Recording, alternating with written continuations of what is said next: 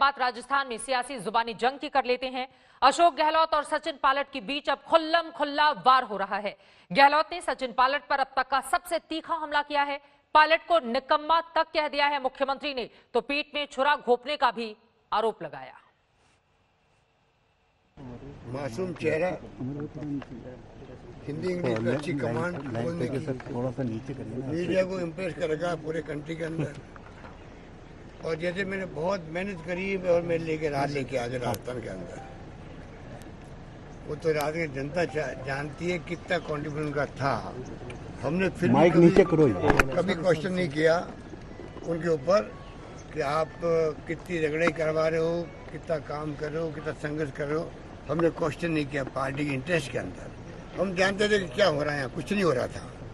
Question नहीं किया। Number तीन सात साल के अंदर एकमात्र राजस्थान, हिंदुस्तान का राज्य होगा, जब प्रदेश कांग्रेस कमेटी के अध्यक्ष को बदलने की मांग नहीं करी।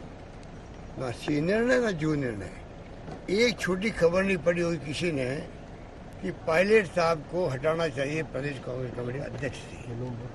हम जानते थे कि निकम्मा है, नाकारा है, कुछ काम नहीं कर रहा है, खाली लोगों को लड़वा रहा है। मेरे साथ हो कि नहीं हो, मैं यहाँ बैंगन नहीं आया हूँ। मैं कोई सब्ज़ी बेचने नहीं आया हूँ। मैं मुख्यमंत्री बना आया हूँ। तय कर लो, तुम कल तो अशोक गहलोत के घर खड़े थे।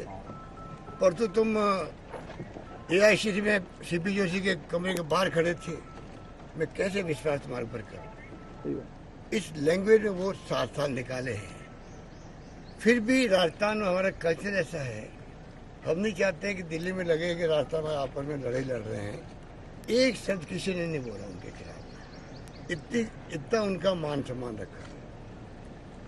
कैसे सम्मान दिया जाता है प्रदेश कांग्रेस अध्यक्ष को, वो मैंने सबको सिखाया है राजस्थान के अंदर। कैसे प्रदेश अध्यक्ष जी आए तो खड़े होना चाहिए हम लोगों को। उम्र पीछे है, पद बड़ा होता गरिमा का। ये तमाम कल्चर मैंने सिखाया यहाँ के नेताओं को। सात साल प्रदेश कांग्रेस कमेटी अध्यक्ष रखना बड़ी बात है। जी। राहुल गांधी जी का सोनिया जी का इतना विश्वास उनके ऊपर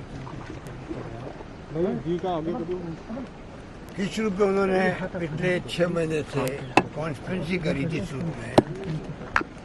पार्टी को थोड़ा माइक नीचे कर लो ऐसे अलग भैया। होकर के भारतीय जनता पार्टी के सहयोग से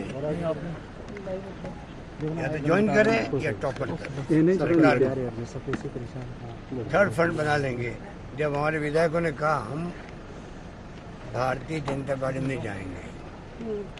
तो कहा गया कि आप हम थर्ड फंड बनाते हैं इलेक्ट्रॉनिक आप इस्तीफा देंगे आपके सामने कोई खड़ा नहीं होगा बीजेपी का। ये हमने वादा ले लिया उनसे। और अरेंज गवर्नमेंट बनेगी बिहार की तरफ़ कर लेंगे। जो एक नौजवान साथी हमारा पच्चीस साल की उम्र में मेंबर पार्लियामेंट बने। छब्बीस साल में केंद्रीय मंत्री बन जाए। और आप कल्पना करो सर आप कि आप बत्तीस साल चौंतीस साल पैंतीस साल कैमरे साल में मत आप रखो ना। प्रदेश कांग्रेस अध्यक्ष बन जाओ। डिप्टी सीएम बन जाओ। उसके बाद में दस बारह साल के गेम में आप सब कुछ बन गए। दस बारह साल के गेम में आप सब कुछ बन गए। ऐसा बहुत कम होता है। उसके बाद में जिस रूप में उन्होंने खेल खेला वो बहुत दुर्भाग्यपूर्ण बहुत दुर्भाग्यपूर्ण किसी को यकीन नहीं होता था जब मैं बात करता था जी। कॉन्स्पिरेसी चल रही है राजस्थान के अंदर। सरकार को टॉपर करने की। तो किसी को यकीन नहीं होता था कि ये व्यक्ति ये काम कर सकता है।